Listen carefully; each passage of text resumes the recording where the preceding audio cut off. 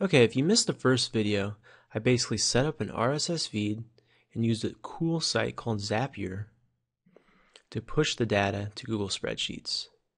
In this video, I'll show you one way to parse the text from the RSS feed in Google Spreadsheets to make analysis easier. We'll use the left, right, and mid functions. So in Google Spreadsheets, this is what the raw data looks like. I have date, title, and link, and I want to separate the date, price, title, location, and link, and have each be a separate column. So in your Google spreadsheet, create a new tab and use the following headers date, price, title, location data, location, and link. And then you want to use the following formulas to parse the data from the Craigslist feed and fill the rows beneath each header.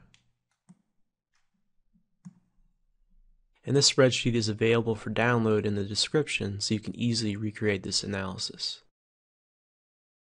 Looking at this tab here, you can see all the parsed data and analysis can now be performed.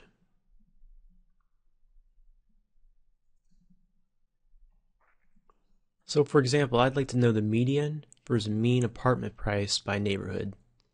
And to do that, you can just insert a pivot table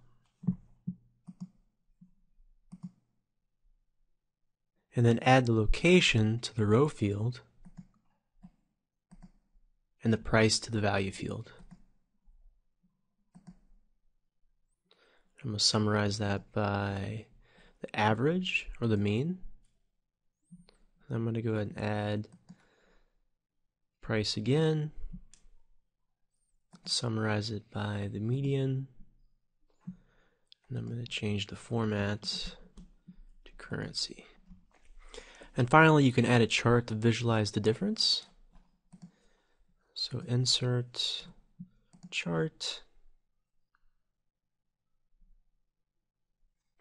I'm going to go ahead and use the area chart here.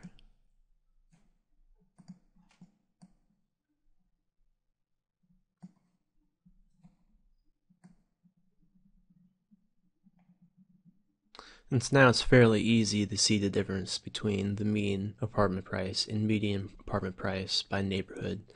And you can play around with the legend, change the chart title, delete the vertical axis if necessary. And you can try other charts as well if those better visualize the data. And with enough data, you can start seeing trends in the rental market and make predictions on where rents will be increasing and decreasing. Okay, so I hope this all makes sense. And remember, be sure to check out the first video to see an easy way to push the data to the spreadsheet to begin with. Alright, thanks for watching.